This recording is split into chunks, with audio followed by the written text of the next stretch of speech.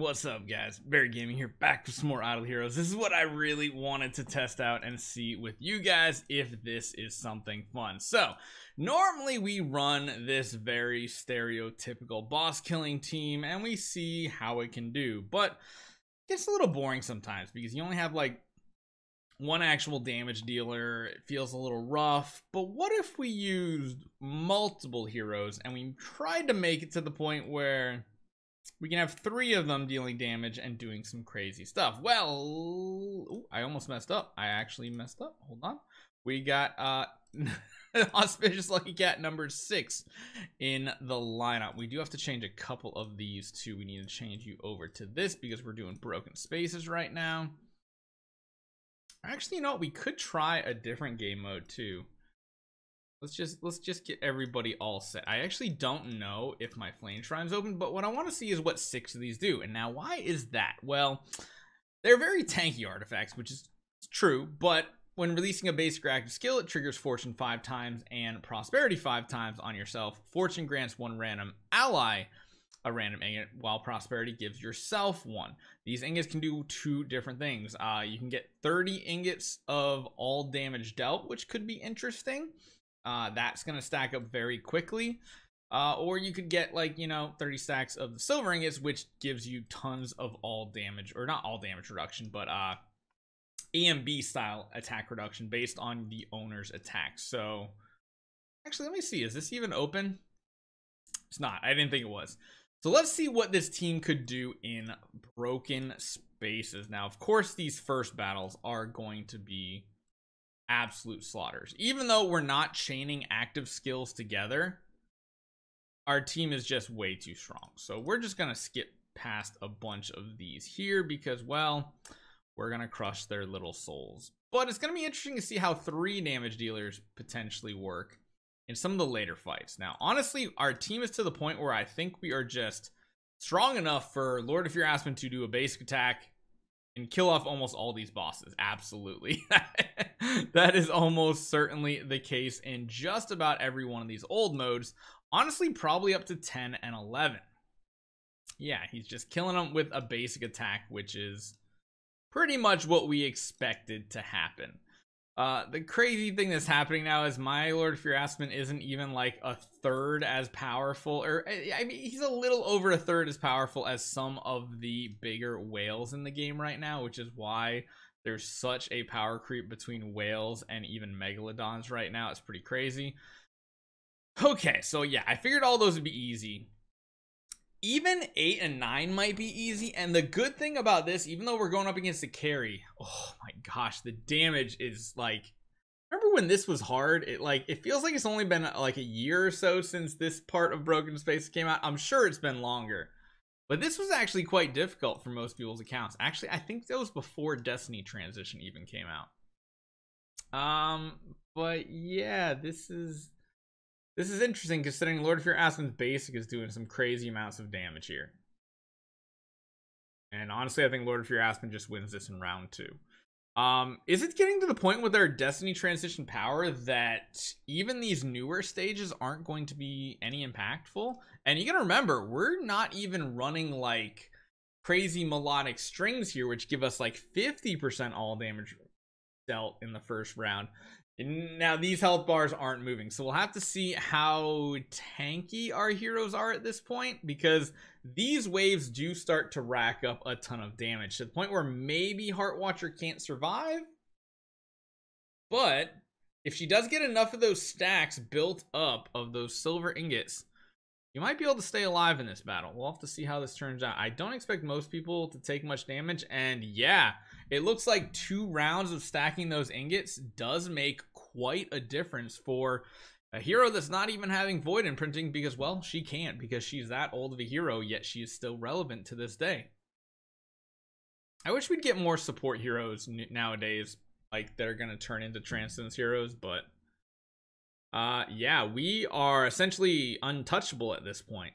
We have like these little itty-bitty shields but they're enough to keep us going question is can we do this in one ticket with multiple damage dealers on our team Still probably would have been better running something like a Drake in here instead of a Doom Terminator Vulcan, to be fair, and kind of doubling up on the Aspen and the Lord of Sparkles single target.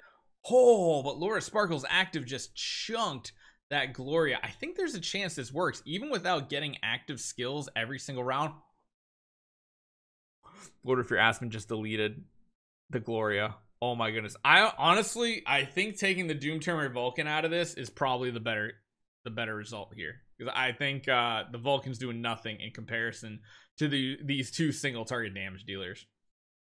It feels so weird not to get actives in every single round, but this is just insanity because uh, the one thing we did have struggles with is keeping our team alive that are like heart watchers and stuff. But it seems to be working kind of good now. Now, Aspen's going to get a couple actives off and steal attack from them. That's the only downside of the strategy is Aspen not getting active every round means he's not stealing tons of attack every round, but Doom Terminator Vulcan has his weakness disclosure. Yeah, he's not doing much damage, to be honest. We got probably two more actives at the most coming from our Lord of Fear Aspen and our Lord of Sparkles, but this is intriguing. This is actually intriguing. Yeah, I think running the Drake would 100% be a better strategy here. So we're going to get round 13 active, which means we're not going to get another active in round 15. So round 13 active kind of needs to be the end all be all for the Aspen and the Yorm Tum. See how it turns out. Big chunk damage. Oh, that's not a ton. We're not going to quite one ticket this, it looks like. Oh, wait a minute. What just happened there? Where did her health bar go? Was that Vulcan? I don't think that was Vulcan though, was it? That was weird. Oh my gosh, was that weird. I mean, he did a sizable amount, but I think having a Drake in this lineup would be better. Again, we do need to hopefully keep the Drake alive though. So we'll get rid of you and we'll run a two damage dealer setup. Man, one of these days, I think I might heavily invest into a Drake for survivability. like, I really, really might. We're going to do the same thing here. Uh, honestly, we're just going to make him as tanky as possible. Is that the best we got? Kind of. And honestly, I think we're going to go ahead and put Unbending Will on you 2 just to play a little safe. We got everything we want, I think. Let's see how this turns out. I, I've never actually had the luck to one shot all of these waves in one ticket. How crazy would it would be to do it with cats of all things? That would be something amazing to see. I just don't know if we're going to take too much damage here in the first round from a Force use active. We might. These ingots might not be strong enough to keep heroes alive.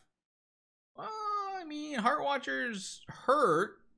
And we're going to get, again, more stacks built up here it might. Oh, nope, nope, nope, nope. The buffs turn to damage, so the Heart Watcher is going to go down, sadly.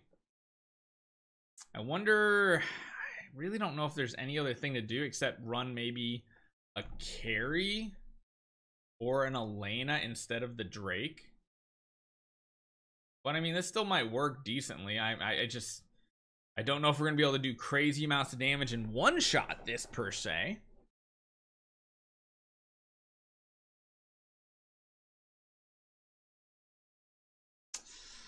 Ah, they're kind of going for different targets too, which is so weird here. But they are strong enough at this point, it seems like, with all those ingots to survive. Although the Drake's getting a little weak here as well. Maybe going for like a full powerhouse team would actually be a better option.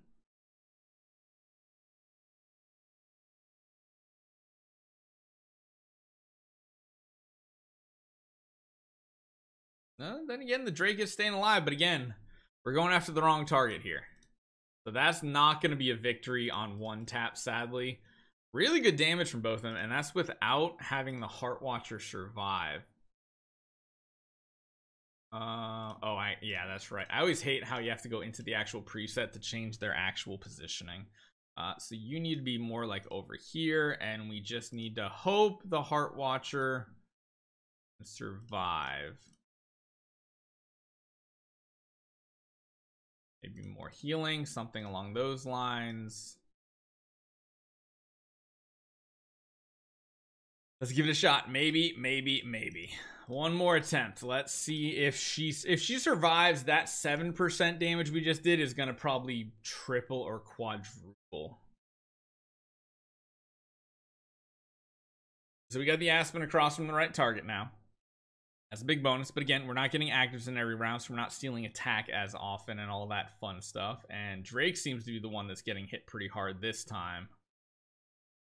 Essentially, the second, yeah, the second Drake gets a buff from from that Mystic Fairy Freya. That's when he dies. But it does look like maybe Heart Watcher's in the clear now. Maybe it's just too much to ask both of them to be surviving. Man, if only we had like a Destiny, or not even Destiny transition, but a uh, a Tree of Origin 5 Drake, that would be pretty solid. Wouldn't be as good for attack purposes for our Lord of Fear Aspen if we made him a tenant. Um, but again, we're stacking up all this heart all these Heart Watcher marks, which probably is better than having a Drake survive. So I don't know. Maybe maybe throwing some support hero in here to help keep the team going could be better. Maybe running Scarlet Queen Halora's core might be better too, in order to heal up. Because yeah, we just lost all the support heroes. Uh, that was like double the damage though, and essentially, whew, Aspen crushed it there. I wonder if he went down in that fight. Much better, much, much better damage. Let's try one more thing here. Well, man, there's really not much else to try here because we've kind of just maxed this out. Yeah, the only other thing I could think is maybe running her core in hope. Or actually, no, we could run his core because his core gives damage reduction. That could be helpful. Do one more hit. One more hit, see if the team can survive. We'll use his core, which of course isn't giving bonus attack, but it is giving damage reduction, control immunity, all that fun stuff. We'll see if it's enough. They also need to high roll their own ingots for prosperity in hopes that they get a ton of them. But yeah, this Heart Watcher is probably dead round one, right? Or round two. Yeah, there we go. Which, yeah, it seems like no matter what we do, we're going to be pretty much around that. So, what if we decide to then just drop all of the support heroes, like those types of heroes. And instead, we run like you and you in the mix. And we build you back for offense here. That looks good. And we get the cat. That's awesome. And then we do the same thing with Natalia here. honestly, we can build her for attack as well. Might mean we do something a little better. And at that point, we could probably go back to her core We'll see what happens. It might be better just running all Transoms heroes. Uh, that'd be crazy if this could somehow one-shot this. I really don't think it is, and I still don't think this is better than like a Demon Bell setup with a single damage dealer. But it's fun to try stuff like this just to see how it would work. And we got the chest, we got the artifacts. Might as well check it out. Um, survivability should be a lot better because I don't think any of these Destiny transitioned heroes have a chance of dying to the 4C's uh, ultimate skill there, or his active skill. So the team should survive.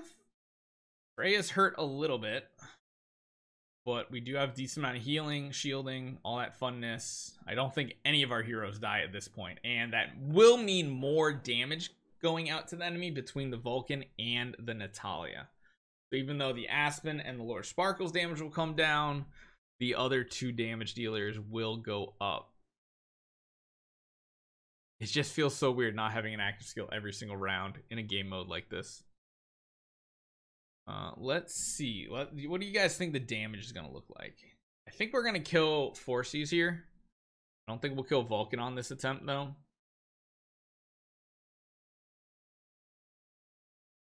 Yeah, it's sizable hits by both Natalia and Vulcan.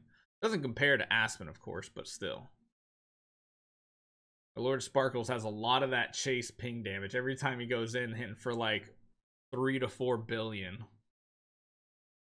And of course, we have these counterattacks for three to five billion per hit. yeah, this damage is starting to add up when we actually get active skills off here.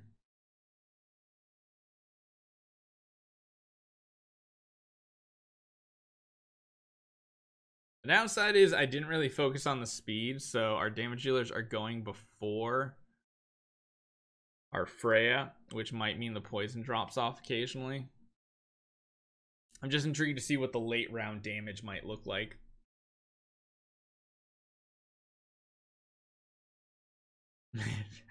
Basics feel so bad nowadays when you see how much damage active skills do. It's crazy.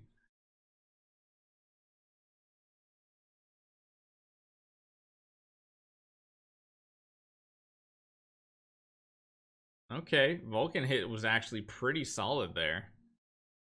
Again, we're getting to the later rounds, so we're going to have more stacked up poison damage if we got lucky with where the snake buffed. because the snake only targets four allies. We have six on the battlefield. Means the chance of Lord of Fear Aspen and Lord Sparkles getting every single one of them isn't like a hundred percent. It's like a what 66% chance or something like that. Probably even lower.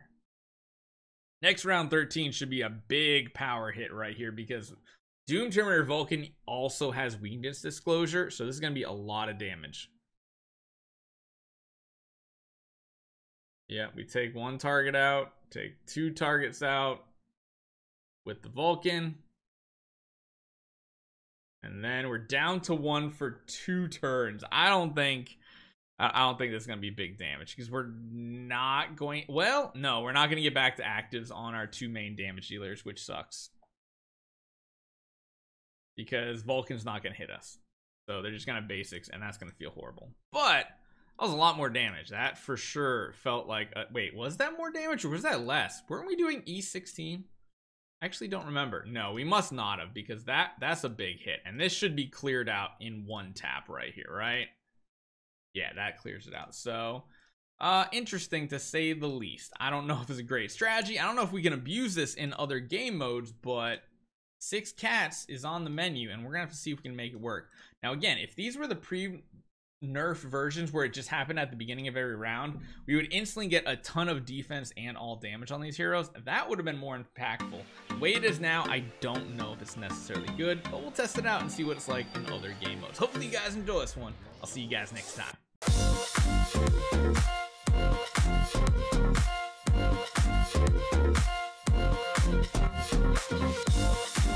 back.